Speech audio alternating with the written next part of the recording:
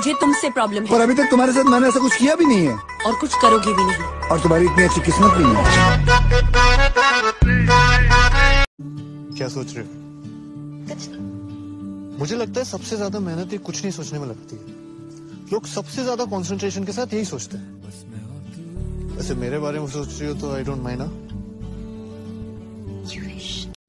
देखा तुझे तो को बहू मिल गई। हाँ बात ये तेरी अच्छी लगी।